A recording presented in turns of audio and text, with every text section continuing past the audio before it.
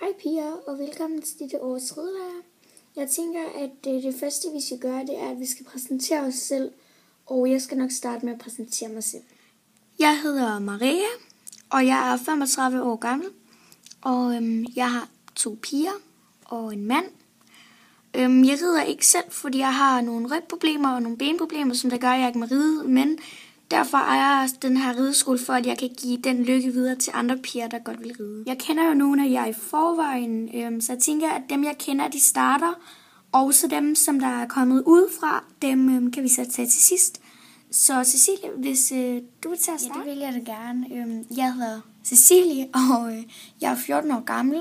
Øhm, jeg har reddet i cirka 7 år, og øhm, jeg har været her på rideskolen i ret lang tid, og kender både Maria og bare hele hendes familie rigtig godt. Øhm, og jeg elsker at ride, og øhm, jeg har min egen heel part, som vi kalder det her, øhm, som der ligesom sådan går ud på, at man sådan næsten, at det næsten på en måde er ens egen hest, og så hjælper jeg med at ride nogle af alle de andre heste, der er herovre også. Jeg rider for det meste øh, dressur, vil jeg sige. Og så rider jeg også en masse spring, og så rider jeg også rigtig mange ture sammen med dem, der rider her. Super, det var rigtig godt, Cecilie. Okay, så min tur. Øh, jeg hedder Maja, og jeg er Marias en datter, og hendes ældste datter. Og øh, jeg har min egen pony her. Øh, det giver måske lidt sig selv, når vi ejer en rideskole, at jeg så har min helt egen pony. Øh, jeg rider også meget dressur og en masse spring og en masse ture sammen med Cecilie, og vi er rigtig gode venner. Øhm, jeg er jo kun 12 år, men ja, det, jeg kan ikke rigtig ændre på noget øhm, med, at man godt kan være veninder. Øhm, jeg ved ikke helt, hvad der er mere at fortælle, end at jeg så cirka har reddet i fire år cirka. Øhm, for jeg var lidt bange for heste i starten, men sådan en dag, så prøvede jeg så simpelthen at ride. Og så blev jeg bare helt vildt. Jeg hedder Sofie, og jeg er Marias anden datter og hendes mindste datter. Og øhm, jeg er 6 år gammel, og jeg har reddet i cirka to og et halvt år, snart tre år. Øhm, og jeg har min egen pony, øhm, som vi jo, øhm, som I kommer til at se på den her ridlejr. Og øhm, jeg rider bare sådan lidt forskellige, både ture og spring og dressur, og jeg vil nok sige, at jeg nok bedst kan lide at ride ture, og så kommer spring og så til sidst dressur. Jeg hedder Emma, og jeg er også 12 år gammel ligesom Maja, og jeg går på samme skole og i samme klasse som Maja, så vi er bedste veninder. Øhm, og jeg rider også her, jeg har en halvpart, som jeg er rigtig glad for, som jeg også kommer til at se. Og jeg har reddet i cirka halvandet år, altså et og så et halvt år. Øhm, og jeg kan rigtig godt lide at ride, men det vil ikke være noget, jeg sådan ville sådan hele tiden. Altså jeg vil godt have nogle dage, hvor jeg ikke behøver at ride, og så nogle dage, hvor jeg gerne vil ride. Så det er ikke noget, jeg sådan hele tiden godt vil. Hej, øh, jeg hedder Christian, og jeg er Marias mand. Øh, jeg rider her på min egen hest, som øh, hedder Balu, og ja, hende kommer I vel til at møde. Øh, og jeg har ikke rigtig styr på, hvor lang tid jeg har reddet. Jeg har bare startet, så jeg har fået noget undervisning af Maria. Og det har gået godt, og så valgte vi at købe en hest specielt til mig. Øhm, så ja, jeg ved ikke rigtig, hvad der er mere at fortælle om, at jeg er 37 år gammel. Og øhm, ja, jeg fik meget inspiration til at ride pigerne, for jeg synes, det så sjovt ud. Øhm, og så tænkte jeg, at så ville jeg simpelthen opprøve det, og så synes jeg bare, at det var virkelig sjovt, og det var noget, jeg godt ville begynde på. Og derfor valgte vi simpelthen at købe en hest til mig, og så at jeg fik undervisning af Maria. Hej, jeg hedder Stephanie, og jeg er 13 år gammel. Øhm, jeg har reddet herude i cirka... Øhm, mm, ja, det må vel være et år nu, og jeg har reddet i cirka to år, så jeg har også reddet et andet sted. Men det her er helt klart det bedste sted, jeg har været, fordi vi har så godt et fællesskab, og vi hjælper hinanden. Øhm, jeg har lige øh, sådan øh, skiftet over til en anden hest, som jeg så øh, har part på, fordi jeg ikke rigtig føler, at jeg klingede som min anden part, og ham kommer jeg selvfølgelig til at møde, øh, og I får nok også lov til at møde øh, hele min gamle part. Øhm, jeg ved rigtig, hvad der er mere at fortælle, end at mig og Cecilie, vi går på samme skole, men vi går ikke i samme klasse, og så rider vi nogle gange sammen. Hej, øh, jeg hedder Claudia, og jeg er 16 år gammel. Øhm, jeg har min egen hest opstillet her, og vi kommer til, øh, fordi vi skulle flytte, og vi havde ikke plads til at kunne have ham derhjemme. Så derfor flyttede vi ham herop, og det er nu en af de bedste beslutninger, vi nogensinde har taget. Da han har det så godt her, og folk passer så godt på ham, og vi har et rigtig godt fællesskab, og kan altid hjælpe hinanden. Så ja, jeg har reddet i cirka, ja det må være 8 eller 9 år, så jeg har reddet i noget tid, og jeg er rigtig glad for at ride, og jeg tror aldrig, jeg vil stoppe med det.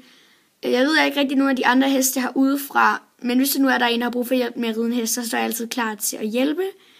Øhm, så ja. Yeah. Vi har kun en herude fra i år, som der så kender en af de piger, der så allerede går her, eller sådan er her på rideskolen, så du må meget gerne præsentere dig selv. Øhm, jeg hedder Marie, og jeg er Emmas kusine, og hun spurgte mig, om jeg ikke ville med herud. Og det tænkte jeg, det ville jeg da godt prøve, når der var en ledig plads. Og jeg har øhm, reddet i noget tid, og jeg har ikke min egen pony, men jeg har halvpart på en, der er et andet sted, øhm, som jeg ikke, desværre ikke kunne få med herud. Så jeg skal låne en hest her udefra, og det glæder jeg mig rigtig meget til. Øhm, ja, jeg ved ikke rigtig, hvad der er mere at sige. Jeg har reddet i cirka 4 år, og jeg er rigtig glad for ridning, og jeg går rigtig godt tænke mig min egen hest. Øhm, og jeg håber måske snart, at jeg får en. Så har vi alle sammen fået præsenteret os, og øh, jeg synes faktisk, det gik okay hurtigt. Og øh, vi fik meget at vide, og hvis vi har nogle spørgsmål til hinanden, skal vi bare spørge løs, hvis vi lover hinanden, at vi ikke svarer surt, eller sådan noget, at vi godt svarer sådan sødt til hinanden. Øhm, men vi har et på, øhm, eller jeg har lavet et program i dag til nogle sjove ting, vi skal lave. Og øh, vi skal blandt andet i dag prøve at ride kordæveridning.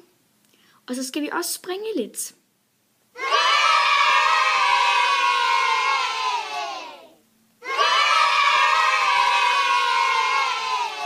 Men inden vi kan komme i gang med alt det, vi skal, skal vi selvfølgelig have fordelt to heste til hver person. Og hvis vi starter med, hvem Cecilie hun skal have. Cecilie, du er så heldig, at du selvfølgelig får Basse, som er din helpart. Og så får du Clara, som du har en lille halvpart på. Er det okay med dig, Cecilie? Ja, det er så fint. Jeg er så glad for, at jeg har fået de her to. Det var rigtig godt. Og Maja, du er selvfølgelig så heldig, at du får Chloe, som jo er din egen hest. Og så får du Jessie, som du har en lille halvpart på også. Er du glad for dem? Ja, dem er jeg helt vildt tilfreds med. Det var godt. Og Sofie, du får selvfølgelig din egen pony, Glory. Og så får du lille Augusta. Og Emma, du får Harry, som du jo har halvpart på. Og så får du Mango. Og Marie, du er jo ny her, og dem vi har valgt til dig er to okay rolige ponyer. Og den første, det er Mille, og den anden, det er Beauty. Og Claudia, du får selvfølgelig din egen hest, Midnight. Og så er du så heldig, at du også får Misty. Og Christian, du får selvfølgelig din egen Baloo. Og så får du Balder. Stephanie, du får selvfølgelig din nye part Bølle. Og så får din gamle part Safir. Jeg håber, alle er glade for de heste, de har fået. Og hvis der er nogen, der er ked af dem, de har fået, skal de selvfølgelig bare komme, og så finder vi nogle nye. Nu der skal vi i gang med den første ting, som vi skal lave i dag, og det er nemlig kordæveridning. Og I er blevet dit ind i nogle hold, som jeg lige vil sige nu. Det første hold, det er Cecilie, Maja, Stephanie og Sofie. Det andet hold er Emma, Claudia, Marie og Christian. Og hold 1, det er, altså hold 1, det er Cecilie, Maja, Sofie og Stephanie. Det, I bliver kaldt hold 1. Og så I andre bliver så selvfølgelig øhm, kaldt hold 2. Øh, men hold 1, de skal starte, og I må meget gerne gå ind og gøre jeres heste klar, og så finder jeg lige nogle kordever, som I kan bruge.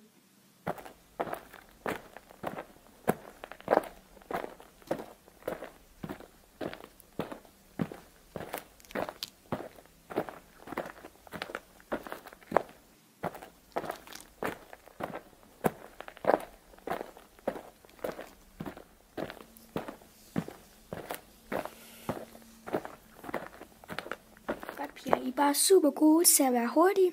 Øhm, vi starter med her, når vi varmer op, at øh, hestene de har grimer på, øhm, så jeg kan komme og hjælpe jer, hvis nu I hvert fald af eller et eller andet. Øhm, og så når vi har øvet os lidt, så kan vi prøve at tage grimerne af, øhm, og hvor I kun styrer i kardeoen. Øhm, men nu skal vi vist bare til at komme i gang. I skal selvfølgelig huske på, at I skal bruge jeres ben rigtig meget. Så hvis nu I skal dreje til venstre, så skal I klemme med det ben, som, altså, I skal klemme med det ben, som er det modsatte af den hånd, I vil dreje normalt med tøjlen med.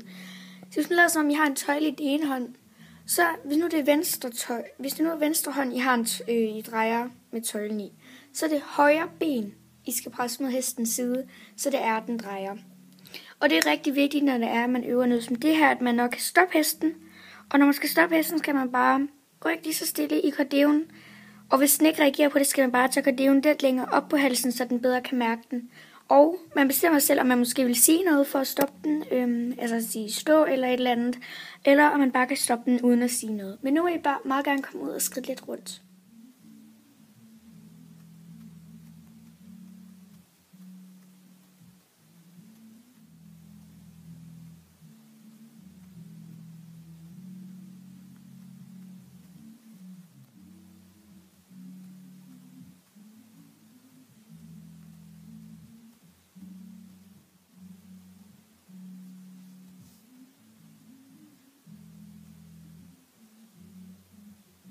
Super piger, I er rigtig gode til at stoppe hesten. Det er super dejligt at se, at I også øver en masse stopøvelser, for det er rigtig godt at, at stoppe eller lave gode parader øh, en gang imellem, så man ved, at man er fuldstændig sikker på, at man har hesten øh, under kontrol, og at hesten er lydig efter en. Men nu må I gerne komme frem i trav.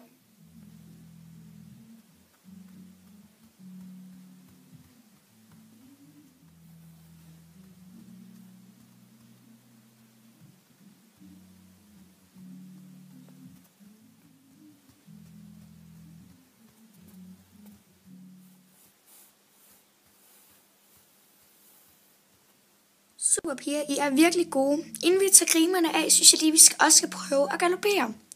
Så hvis Maja og Cecilie kommer her ind på midten og passer på, hvor de andre skal øhm, ride hen, så øh, bliver Stephanie og Sofie bare lige ude på hovslaget, og så kommer de bare frem i galop, når de er klar til det.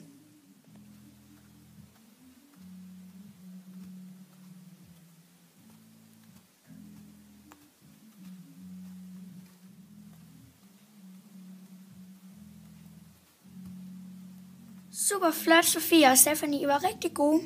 Nu kommer øh, I to, Sofia og Stephanie, øh, her ind på midten til mig og passer på, hvor de andre rider. Og så kommer Maja og Cecilie bare ud og galopperer, når de er klar.